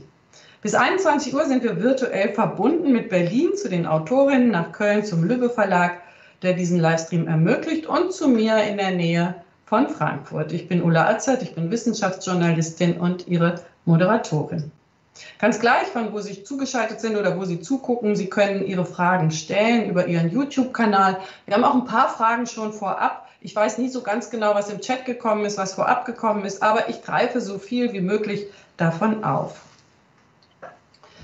Ja, das Buch sei es egal, die wahren Problemzonen sind im Kopf, nicht auf der Hüfte. Wenn ich aber doch dick bin, dann bin ich doch dick und zwar auch an den Hüften. Wie kann es dann im Kopf entstehen? Ich glaube, äh, also erstmal Hallo an alle, äh, die online sind. Ich freue mich, dass ich heute hier sein kann. Ich glaube, dass es ganz wichtig ist zu wissen, dass unser eigentliche, ja, unsere eigentliche Problemzone ähm, der Kopf ist. Das bedeutet, dass unser letztendlich unser Gewicht eigentlich scheißegal ist, denn es geht darum, dass wir gesund sind, dass es uns gut geht, äh, im Innen und im Außen und dass wir uns viel zu sehr auf das Äußerliche fokussieren. Ja, aber Sie erzählen ja auch sehr persönlich in dem Buch von Ihrem ständigen Kampf um die richtige Figur. Das heißt, Sie waren ja dann auch sehr fokussiert darauf, dass es eben ja vielleicht nicht so ist, wie es sein soll. Karo Matzko hat sich fast zu Tode gehungert, musste in die Klinik und fand sich immer noch zu dick. Was stimmt denn da nicht? Also jeder Spiegel zeigt einem doch, wie man aussieht oder nicht. Also ich glaube, da muss man ein bisschen weiter ausholen, weil letztendlich entwickelt sich unser eigenes Selbstbild ja sehr früh. Unser Selbstbild, äh, auch unser Selbstwert entwickeln sich sehr früh in unserer äh, Jugend oder Kindheit. Und wenn einem natürlich von außen immer gespiegelt wird, dass man dick ist, dann nimmt man das auch an. Also wenn ich zum Beispiel heute Fotos von mir sehe, als ich ein junges Mädchen war, da war ich maximal ein bisschen pummelig, aber nicht dick. Und ich glaube, ich da kann da auch sehr gut für Caro sprechen, die halt ähm, sich selber auch sehr unter Druck gesetzt hat. Das haben wir beide. Also wir haben, obwohl wir äußerlich sehr unterschiedlich sind, also ich bin dick und Caro ist die dünne von uns beiden, ähm, haben wir trotz alledem sehr viel gemeinsam. Denn uns eint das Gefühl des Nichtgenügens. Und das eint eigentlich fast alle Frauen, würde ich sagen, weil wir ständig und immer medial oder auch im, ob es im Alltag ist oder vor allen Dingen auch medial immer damit konfrontiert werden, dass wir nicht genug sind. Mhm. Da gibt es ja eine interessante Studie, die ist mir zufällig auf den Tisch geflattert. Menschen, die sehr dünn sind, aber glauben, dass sie zu dick sind, gehen sogar seitlich durch Türen, weil sie glauben, dass sie anstoßen. Das heißt, äh, sie haben es so in sich aufgenommen, die falsche Figur zu haben, dass sie sich sogar anders bewegen. Ähm, heißt das, dass wenn das im Kopf verankert ist, ich bin falsch, ich bin nicht richtig, haben Sie eben gesagt, kann man sich das denn auch wieder abgewöhnen oder bleibt es ein lebenslanger Kampf? Ein falsches Körperbild von sich zu haben? Mhm. Ich glaube, wenn man sich mit der Thematik Körperbild nicht wirklich befasst, dann glaube ich schon, dass es ein, Lebens, ein lebenslanger Weg ist, sich selber anders wahrzunehmen. Also das ist ja bei mir auch genauso. Also ich meine, ich habe nämlich manchmal als viel schlanker war, als ich eigentlich bin und ähm, es gibt tatsächlich auch Frauen, die dünn sind und sich dicker fühlen und umgekehrt. Also das ist letztendlich eine verzerrte Wahrnehmung des eigenen Körpers. Und ich glaube, es geht eigentlich da hauptsächlich darum, einmal in den Spiegel zu schauen und zu gucken, wie bin ich denn? Und es gibt auch in der Therapie auch gewisse Übungen, die man macht, um das eigene Körpergefühl halt zu stärken. Da werden dann Umrisse zum Beispiel aufgemalt, dass man sehen kann, wie der Körper letztendlich aussieht. Also ich als dicke Person zum Beispiel auch öfters seitlich durch, weil ich meine, ich bin zu dick. Aber ich sehe dann manchmal, wenn ich mich durch Autos bewege, ich bin ja kein Bus. Ja, also ich bin eine Person und ich brauche dann zwar auch meinen Platz, aber ich brauche nicht übertreiben. Ja? Also das ist, glaube ich, ähm, auch ein ganz wichtiger Punkt, weil unsere eigene Körperwahrnehmung ist ganz oft sehr verzerrt. Besonders dann, wenn es auch um das Thema Essstörung geht. Ja, willkommen, Caro Matzko. Sie sind uns jetzt zugeschaltet und auch Ja, Sie haben keine Ahnung, was das hier gerade, was für so ein Effort war, weil normalerweise funktioniert es immer super. Im Technikcheck hat es auch super funktioniert. Ich brauchte jetzt die Hilfe von jungen Männern. Und sitze jetzt auch auf dem Laptop vom, es ist was nicht natürlich mich als Feministin total ankast, aber ich habe alle Apps runtergeladen und aktualisiert. Ähm, fit in den Frühling, nicht mit mir und der Technik. Hat geklappt. Ja, aber das macht es doch eigentlich auch spannend und überraschend und interessant. Ich habe mir vorhin noch ein bisschen Tee in die Tastatur gegossen. Also von daher klappt es doch jetzt alles ganz gut. Ja, das ist super. Das ist eine Tastatur. Wir, wir haben schon ein bisschen gesprochen über die Körperwahrnehmung und ich hatte erzählt, äh, dass es eine Studie gibt, dass wenn Menschen zu dünn sind, sehr dünn sind, aber glauben, dass sie zu dick sind, wie es ihnen ja gegangen ist in ihrer Jugend, ähm, dass die sogar seitlich durch eine Tür gehen, weil sie Angst haben, dass sie an den Ecken anstoßen. Können Sie das bestätigen, dass Sie sich wirklich immer noch dick fanden, obwohl Sie schon aussahen wie ein Spargel? Ja, also ja, natürlich. Also ich fand mich immer zu dick ich fühle mich auch heute noch partiell zu dick. Das ist einfach so. Also ich habe jetzt, liegt aber auch daran, dass ich die äh, statistischen Mittel begriffenen drei Kilo, die jeder Deutsche wohl im Lockdown bisher zugenommen hat, ähm, auch definitiv zugenommen habe. Ähm, äh, ich gucke immer noch bis heute, obwohl ich immer noch qua meinem Gewicht weiß, ähm, dass ich eigentlich immer noch in dem Mittel bin, wo jeder Arzt sagt, Bingo, ähm, bleib so, Mutti, ähm, dass ich mich immer noch nicht gut fühle, weil ich mich immer noch fokussiere auf die Stellen, die nicht so ganz im Gardemaster herkommen, dass ich damit angeben kann. Und es ist bis heute auch so. Heute hat mir meine Kostümdame, die Erika, hat mir eine Hose mitgebracht, ähm, weil ich neben meinem Laptop auch noch alle Hosen vergessen hatte zu Hause. Völliger Überforderung. Ähm, und die war 36 und dann habe ich sie angezogen und sie hing wie immer an diesen Oberschenkeln irgendwie fest, so dass man diese Bügelfalte nicht mehr als eine solche wahrgenommen hat. Und dann habe ich gedacht, ja, Mutti, pass auf, das ist jetzt wieder genau der Moment, ähm, dass du dich bestätigt fühlst. Ja, ich weiß, dass ich eine 38 immer noch völlig in Ordnung ist und ich bin Autorin mit des Buches sei es egal. Aber es war wieder einer dieser Momente, wo ich genau wieder zurückgefallen bin, dieses Muster, dass ich dachte, wow, und jetzt passe ich nicht mal mehr in eine 36 und da ist Merkel dran schuld. Habe noch nie diese Bügelfalten, Caro, hat man noch nie auf meinem Oberschenkel. Never ever in my life. Ich wollte das früher immer haben. Das hat man noch nie gesehen. Immer nur an den Unterschenkeln.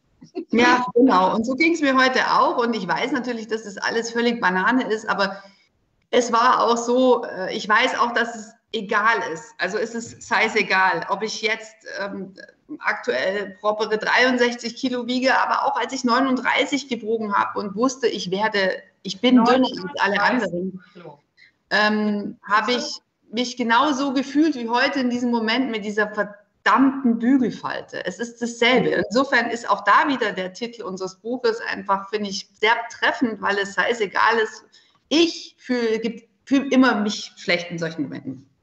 Und vermeide ich auch Hosen kaufen. Ja, das tun viele von uns. Ja, wobei jetzt der Punkt gekommen ist, wo ich mit 41 sage, vielleicht ist jetzt der richtige Zeitpunkt, dass ich jetzt so anfange mit exzentrischen Brillen und Walla Walla Gewändern, altersgemäß. Ja, ich habe mir erst bei 90 vorgenommen, wenn ich 90 bin. Aber Ihr Buch ist ja auch ein Buch über eine ganz wunderbare Freundschaft.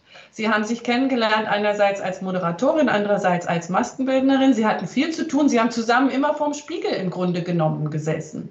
Und jetzt ist Ihr Buch, sei es egal, genau eigentlich der Blick in einen Spiegel und nämlich in den Spiegel, der einem sagt, nimm dich selber an. Trotzdem muss ich noch mal fragen, wie lange dauert das denn, bis Mann, Frau oder ich sage gerne Mensch, denn wir haben ja auch es geht ja nicht nur um dick und dünn, es geht ja auch um alt und jung, es geht ja auch um klein und groß, es geht um alles Mögliche. Wie lange dauert es, bis Mann, Frau, bis Mensch sich akzeptiert?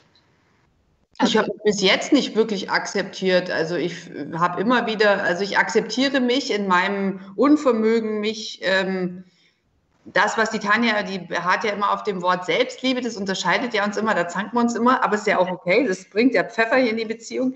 Ähm, ich ich weiß, dass ich jemand bin, der sich schwer tut, mich anzunehmen. Aber ich nehme das an, dass ich so bin. Also ich bin auf einer Metaebene der Selbstliebe. Ich schaue mir das immer wieder an und denke mir, ach, geh, heute passt es wieder nicht, wissen wir schon, aber ähm, fürs, ähm, für die ähm, Restvermarktung meiner Resterotik äh, im öffentlich-rechtlichen Betrieb reicht es noch. Tanja, jetzt kommst du mit deinem Plädoyer für Selbstliebe. Ja, also bei mir war mir hat Selbstliebe geholfen, mich annehmen zu können, weil ich gemerkt habe, dass ich, wenn ich mir wirklich vorm Spiegel stehe und mir sage, du bist toll, auch wenn ich das nicht glauben konnte, ähm, ich habe mich halt erstmal strunz angelogen äh, über eine Jahre, bis ich es angefangen habe zu verstehen, was es eigentlich mit mir macht, wenn ich wohlwollender und positiver über mich spreche. Das war ein ganz, ganz, ganz großer Unterschied für mich. Und ich würde aber auch Caro zustimmen, das ist ein lebenslanger Prozess. Also das sich annehmen, lernen, das ist nichts, was man einmal für sich gewinnt und dann immer irgendwie wieder als äh, Auszeichnung irgendwo zu Hause hängen hat. Das ist ein lebenslanger Prozess. Das wäre ein schönes, eine schöne ich Idee. einhaken darf, die Sache mit dem Spiegel und sich und böse Sachen sagen. Das ist einer der gute Sachen, der wirklich, ähm, ja, aber normalerweise, also ich habe, und das war einer der neuralgischen Punkte, die mir auch so wichtig waren, wo mir so sieben Sonnen aufgegangen sind, als wir das geschrieben haben, weil ich dann meine Tochter gesehen habe, die ähm, immer ein bisschen so einen Blähbauch hatte. Also sie sieht aus wie so ein Lolli mit riesen Augen und langen Haaren. Und der Lolli stand vor dem Spiegel und hat gehadert mit sich, mit damals sechs Jahren. Und dann habe ich mir gedacht, okay, was lebe ich eigentlich diesem Kind vor? Und dann habe ich an meine Mutter gedacht, die immer vor dem Spiegel stand und immer nur gesagt, ich bin schon wieder so fett. Und dann hat sie immer so einen riesigen 80er-Jahre-Gürtel immer so rumgezurrt und dann macht es oben so plopp und unterm Gürtel plomp. Ähm, dann hat sie das aber immer so wie um sich selbst, wie so ein, ja, wie so ein Korsett, hat sich so gezurrt und hat so an sich rumgezuppelt und hat sich so verachtet. Und Mhm. ich habe gelernt dadurch, das gehört so. Es gehört zum guten Ton, dass eine Frau immer sich irgendwie so an sich rummäkelt. Und dann habe ich mir gedacht, ich möchte das meinem armen Kind mit dem Blähbauch, meinem Lolly, meinem heißgeliebten, nicht so vorleben. Ich möchte ihr vorleben, dass ich vor dem Spiegel stehe und ich sage nicht, Mensch, bist du eine geile Alte heute wieder. Boah, komm, wo ist der Tag? Wo sind die Jungs? Bring it on. Wo ist der goldene Hammer? Ja? Sondern ich stehe halt zumindest da in meiner Unterbüchs und ich tanze ihr dann was Albernes vor. Also ich begegne mir selbst, das ist eigentlich mein Weg, vor allen Dingen mit Humor. Mhm.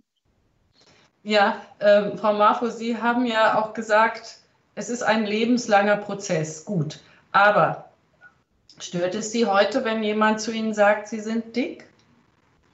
Also ich habe gelernt oder für mich auch angenommen, dass dick für mich keine, kein Schimpfwort ist. Es ist letztlich, äh, letztendlich eine Beschreibung meines Umfangs. Genauso wie ich zu einer anderen Frau sagen würde, hey, du bist dünn. Aber ich sage es ja, es kommt immer darauf an, wie man es sagt, finde ich. Und ich habe einfach für mich gemerkt, dass mich das Wort dick nicht mehr triggert. Also das finde ich aber auch für mich also wirklich auch eine große Erleichterung tatsächlich. Ähm, ich meine, ich habe einen Spiegel, ich kann mich ja jeden Tag zu Hause angucken, der sagt mir ja jeden Tag die Wahrheit. Ich brauche auch eigentlich keine Waage, weil ich sehe, wenn mein Körper sich verändert. Und ähm, ich glaube, das muss man, man muss aus diesen Wörtern diesen Stress rausnehmen. Man muss aufhören, dünn als positiv zu sehen und dick als negativ.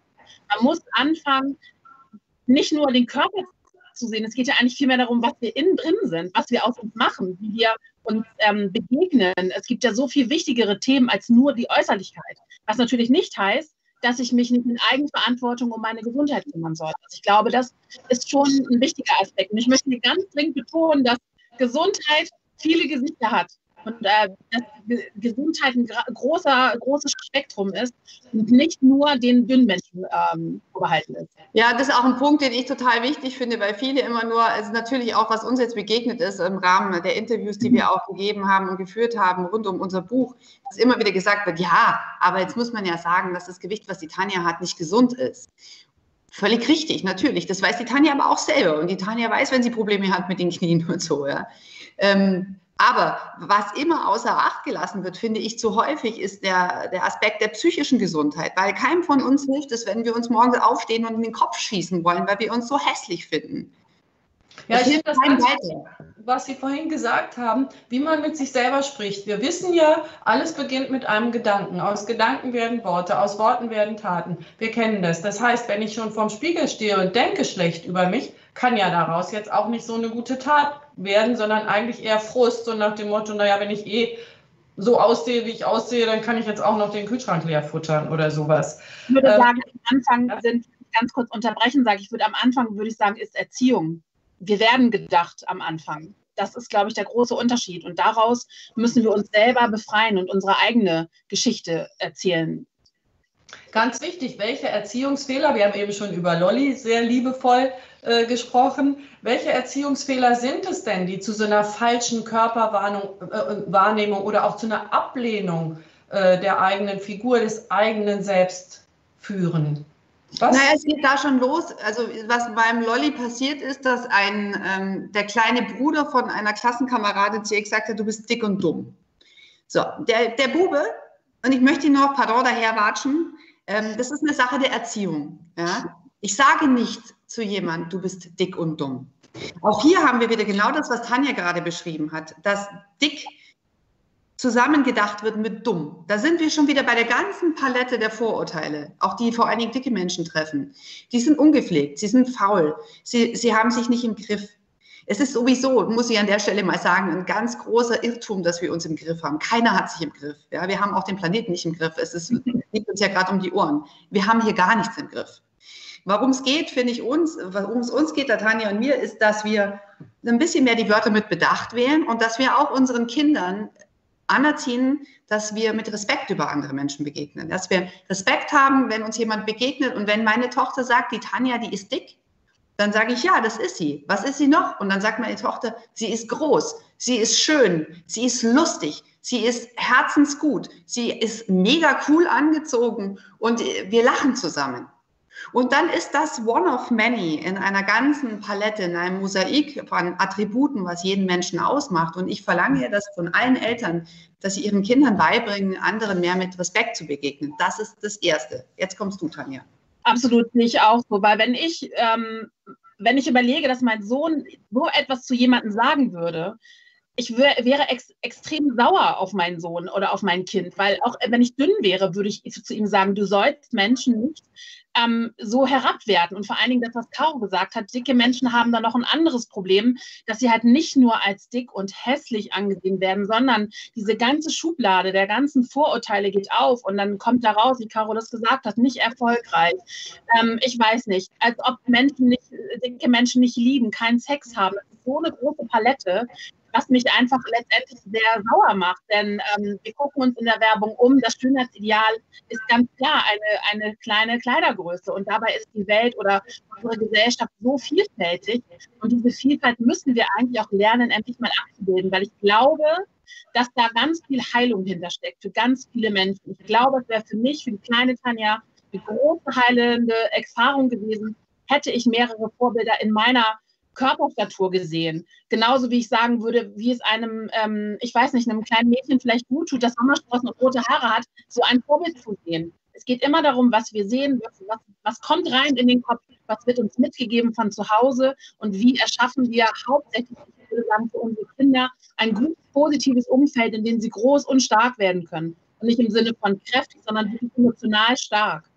Ja, und da geht es ja weiter. Das hat ja den politischen Aspekt auch noch. Also wir tendieren dazu und das zeigen wir, trainieren wir immer noch unseren Kindern auch auf eine Weise an, dass wir ein Attribut nehmen von einem Menschen, das sehr augenfällig ist. Ob das jetzt äh, dick ist oder ob das, der ist schwarz oder ähm, der hat die Kippe auf dem Kopf. Es wird dann gleich, wir nehmen dieses eine Attribut und schließen darauf auf an die Gesamtheit eines Wesens. Mhm. Und da, äh, deswegen engagieren Tanja und ich uns auch sehr für das, was man heute im Modebegriff Diversity nennt. Wir Menschen sind einfach sehr vieles. Und wir schauen ja, natürlich erstmal auf die äußere Erscheinung. Und wenn man mich im Fernsehen drin sieht, dann sagt man vielleicht, auch das, was mir begegnet ist, ja, was macht die Dürre mit der Gurke da? Oder das ist ja genauso eine Judith Rakers für Arme. Ähm, ja, man kann auch von meinem äußeren Erscheinungsbild wahnsinnig viel ableiten und glauben, wer ich dann bin. Aber ich bin ja mehr als das und wir sind einfach facettenreich und uns geht es darum, dass wir erstmal auf jemanden zugehen und nicht vorverurteilen von der äußeren Form her und vom Körperbild, das wir verkörpern, im wahrsten Sinne des Wortes. Das sieht man ja auch auf kurvenrausch.de. Da geht es auch um Diversity. Es geht um den Strauß an Möglichkeiten, wie Menschen aussehen können, wie sie sich kleiden, wie sie sich geben. Ich will aber nochmal auf eins zurückkommen. Wir haben über Erziehung gesprochen und Sie beschreiben in Ihrem Buch, das heißt egal, auch sehr gut Ihre Kindheit, Ihre Erziehung. Und da spielt das Wort Perf Perfektionismus eine sehr große Rolle. Hm, was hat Sie da geeint? Der Perfektionismus war Thema in beiden Familien. Insofern ist er sicher auch ein Grundstein für Ihre dicke Freundschaft. Dick in einem ganz positiven Zusammenhang jetzt einfach gesagt und dünnhäutig auch mal in einem anderen Zusammenhang gesagt. Dieser Perfektionismus, was hat er mit Ihnen gemacht? Er hat uns beiden das Gefühl gegeben, dass wir nie genügen. Mhm um es einfach auf den Punkt zu bringen, dass wir ähm, nicht der Liebe wert sind, solange wir nicht äh, mit Leistung überzeugen. Und das ist auch sicherlich was, was ich ja auch angedeutet habe, ohne da jetzt äh, zu sehr ins Detail zu gehen, weil das die Persönlichkeitsrechte meiner Eltern verletzen würde. Das ist was, was die hier auch einfach äh, gelernt haben und mitbekommen haben, ähm, dass sie äh, so wie sie sind nicht ausreichend sind und dass ähm, sie auch vorverurteilt wurden. Und das haben sie aber dann leider auf eine Weise weitergegeben. Also dieses du musst Leistung bringen, damit du anerkannt wirst. Ähm, es geht nicht darum, es ist, ich brauche, der hat immer das Gefühl, ich brauche auch einen TÜV Südstempel von irgendjemand, der mir bescheinigt, dass ich bestimmte Skills irgendwie habe. Ja. Ich habe wahnsinnig drunter gelitten, dass ich mich an der Journalistenschule beworben habe, zum Beispiel auch später und dann nicht genommen worden bin, was ja das Seltenste ist, dass man beim ersten Mal genommen wird. Ähm, ich habe das immer persönlich genommen, selbst wenn ich dann irgendwie äh, selbst wenn ich da, als ich dann schon als Journalistin gearbeitet habe und auch ähm, sehr verdient war in dem, was ich irgendwie getan habe, habe ich immer noch gedacht, dass das nicht reicht. Das ist ja auch tatsächlich das, was viele Frauen irgendwie speziell haben, das, was man Hochstapler-Syndrom nimmt, ja, dass, ähm, dass es nicht ausreichend ist. Also ich finde, bei mir in meiner Kindheit war es ähnlich wie bei Caro. Also ich habe jetzt nicht so diesen Leistungsdruck gehabt, ähm, aber meine Mutter hat halt, glaube ich, erwartet, dass ein anderes Kind da rauskommt. Also meine Mutter ist halt viel kleiner als ich, immer zierlich, ähm, sehr ordentlich und gewissenhaft und ich bin halt so das bunte, laute, dicke Kind gewesen, das dann da rausgekommen ist. Und so hat meine Mutter mir halt un, also irgendwie un, ich sag mal, unter uns vermittelt, wie ich eigentlich zu sein habe. Ähm, und das konnte ich aber nie erfüllen, diese Rolle, die sie für mich vorgesehen hat. Weil ich okay, ich habe mir extra ein T-Shirt heute für dich angezogen. Schau mal.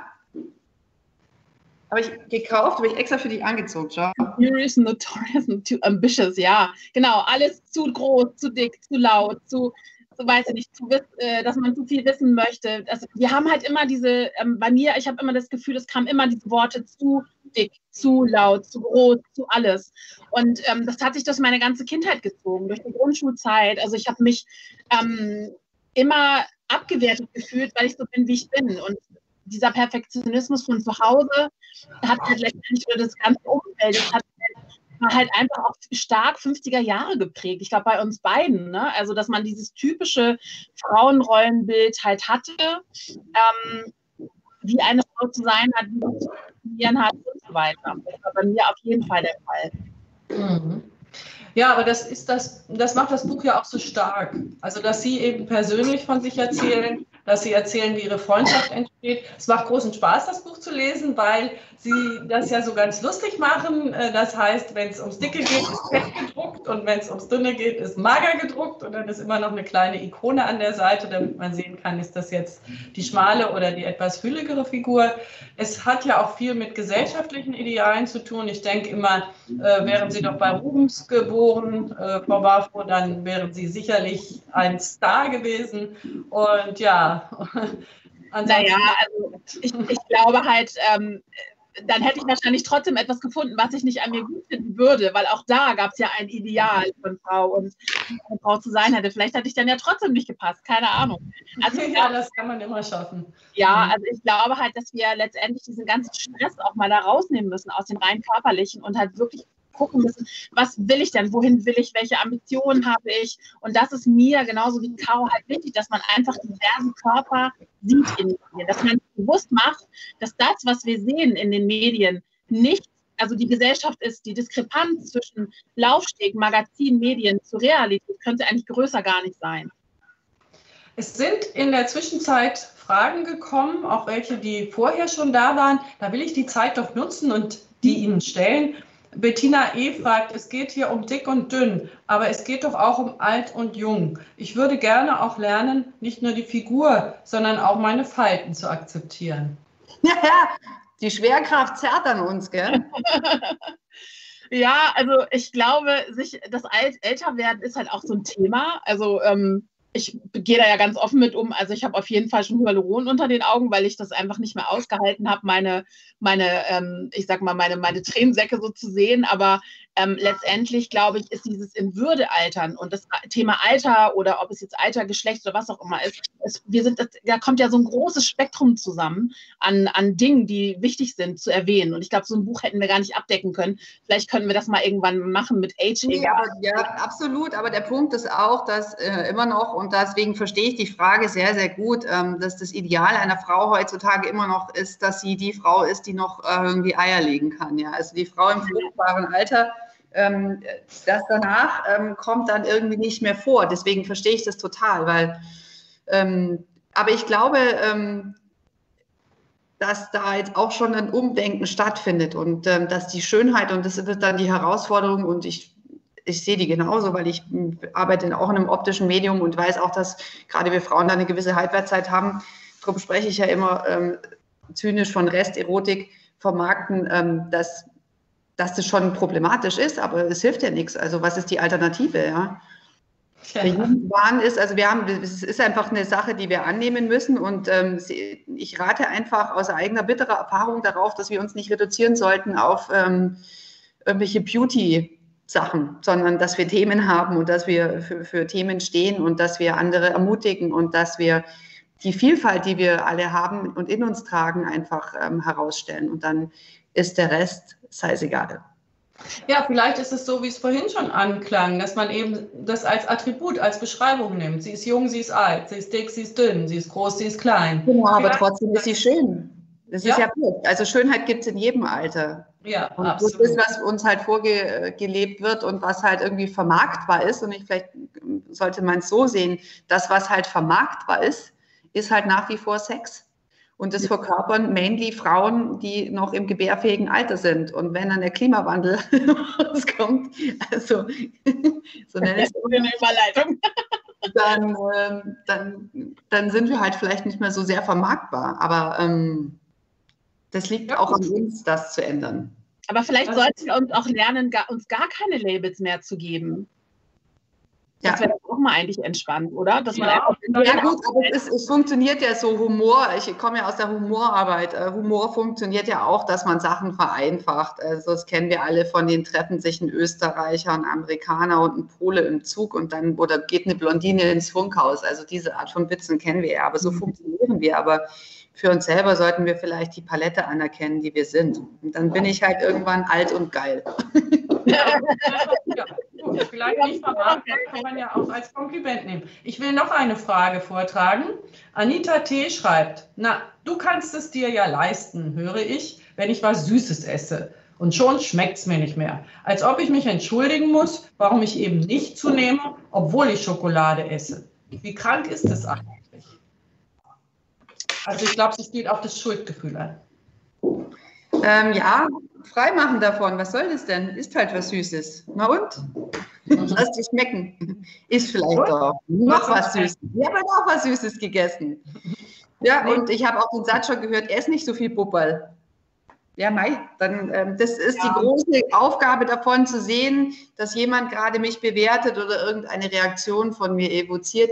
Aber ähm, das steht irgendwie niemand zu. Könnt ihr euch vorstellen, dass ihr Klaus Kleber ähm, in der Mittagspause sagt, oh, jetzt isst er wieder was Süßes heute, hat er ganz einen süßen Zahn. Ja, also ich, ich glaube, es ist ja immer, ne? Also dann ich, es ist auch das typische Dating-Verhalten. Frau isst Salat beim Date, ne? Also ich finde einfach dieses, wenn man sich datet und dann wirklich dann da die Frau, die da sitzt und halt nicht den Salat bestellt, das finde ich, sollte man mittlerweile eigentlich eher loben, weil wir eigentlich ganz oft viele immer noch so tun, als würden sie halt nur den Salat essen. Wobei sie es, äh, ne, vielleicht. Ja, mein Ex-Freund in Amerika hat, als ich meinen Salat bestellt habe, weil ich aufgeregt war und dachte, ich müsste es machen, hat er mir so mit großer Entrüstung dann irgendwie gesagt, you're eating like a fucking model. und er fand es abstoßend, weil er es eigentlich anders gewohnt war. Und ich möchte auch nochmal sagen, diese Formulierung, da steckt ja viel drin in diesem Beispiel, Ja. deswegen bin ich sehr dankbar. Du kannst es dir ja leisten. Hm. Was steckt in diesem Satz drin? Dass wir uns etwas erst verdienen müssen, weil wir Leistung gebracht haben. Oder du kannst es dir ja leisten, aber ruh dich nicht drauf aus. Hm. Auch hier steckt wieder dr- so was ganz Protestantisches drin. Erst die Arbeit, dann das Vergnügen, so dieses Übliche. Und ich bin mittlerweile so, dass ich mir denke, ja, selbst wenn ich heute nichts gearbeitet habe, aber ich, wenn ich es jetzt gerade brauche, dann gönne ich mir das eben. Ja. Noch eine Frage. Ein Mann schreibt, Hans D. Meine Freundin nervt mit ihren Diäten. Dünner wird sie davon nicht. Corona verschlechtert die Lage. Sie hat Rückfälle. Wie lange dauert das, bis man damit durch ist? Oder gibt man einfach irgendwann auf? Ha, das ist eine gute Frage, weil ich habe gestern ähm, eine Veranstaltung moderiert im Literaturhaus in München. Ähm, das war die Buchpräsentation von dem Zeitforscher Karl-Heinz Geisler und seinem Sohn Jonas Geisler und äh, Harald Lesch, dem Astrophysiker. Ähm, die haben ein Buch geschrieben, das ja lesenswert ist über die Zeit. Ja. Alles hat seine Zeit, heißt das. Und ähm, da haben wir auch darüber gesprochen, wie sehr der Mensch eine Perspektive braucht, auch dass etwas zu Ende geht, eine zeitliche Perspektive. Ähm, der Punkt ist, die schlechte Nachricht, äh, diese Pandemie wird so schnell nicht vorbeigehen. Ähm, und äh, das finde ich eben auch so wichtig, gerade, dass wir über unser Buch sprechen dürfen, weil die, ähm, wir erleben hier gerade auch ein Diäten-Tsunami beziehungsweise ein Tsunami an Essstörungen in Ja. dieser Phase, weil die Menschen sehr darauf zurückgeworfen sind, was sie für Probleme haben und mit sich rumschleppen. Und die schlechte Nachricht, lieber Hans, ist, deine Frau wird so lange nicht aufhören, Diäten zu machen, solange ihr inneres Problem mit sich nicht gelöst ist. Genau. Sie wird, egal was passiert, wenn du nicht mit dir zufrieden bist und diese Unzufriedenheit, dieses Gefühl des Gefangenseins, ähm, diese, ähm, dieses Lockdown-Lock-in-Syndrom, äh, das wird so schnell nicht aufhören. Das heißt aber, es ist eigentlich gerade so, manche Menschen gehen ins Kloster, um Stille zu haben. Das Stille bedeutet auch immer eine Begegnung mit sich selber. Das halten viele in diesen Zeiten nicht aus, weil ja. sie es nicht gewohnt sind, weil wir normalerweise rausgehen und immer irgendeinen Input haben oder Leute treffen. Das heißt, wir sind immer abgelenkt von uns selber. Und das meinen wir auch mit unserem Buch und das liegt uns so am Herzen, das einfach zu sagen, dass die Begegnung mit sich selber einfach verdammt nochmal sich lohnt. Aber sie ist nicht einfach. Nein, die ist, ja. Diät hilft nicht. Um genau, also die Begegnung mit sich selber ist halt sehr hart und sehr herausfordernd. Und ich glaube, die, ähm, das Thema Angst ist halt ein großes, großes Thema, was ähm, also wirklich durch alle Schichten, würde ich sagen, zieht, weil wir haben Angst vor der Angst. Aber wir müssen lernen, die Angst als etwas ganz Wertvolles wahrzunehmen, als einen Wegweiser, der uns eigentlich immer in die richtige Richtung pusht. Ähm, dann wir machen, dann können, trauen wir uns auch vielleicht Türen aufzumachen, ähm, die wir lange nicht aufgemacht haben. Dann trauen wir uns vielleicht auch mal hinzugucken und still zu sitzen und zu schauen, was, was brauche ich denn eigentlich, anstatt der Diät, was brauche ich denn eigentlich wirklich? Und ich glaube, darum sollte es gehen, denn dann ist das tatsächlich, wie wir auch im Buch gesagt haben, die Größe egal. Also die Size ist egal, solange du fein mit dir bist, du gesund bist, du in Eigenverantwortung für deinen Körper treten kannst. Das muss man ja auch alles erlernen. Das ist ein riesengroßer, äh, komplexer äh, Themenbereich. Aber es ist wirklich das, nicht ja. auf das Thema Diät also nur konzentriert, sondern wirklich auf sich selber. Das ist ein sehr, sehr gutes Schlusswort. Das heißt egal, die Reise zum mentalen Gleichgewicht ist erschienen im Lübbe Verlag. Vielen Dank, Tanja Marfo und Caro Motzko, dass Sie uns mitgenommen haben auf diese Reise. Und damit sage ich Tschüss und danke an das Publikum für die tollen Fragen, von denen wir wenigstens ein paar beantworten konnten. Vielen, ja, vielen Dank. Kommt scheißegal. Mega scheißegal. Scheißegal. Dankeschön. Ja, da wird es doch mal gezeigt. Tschüss. Dankeschön. Super.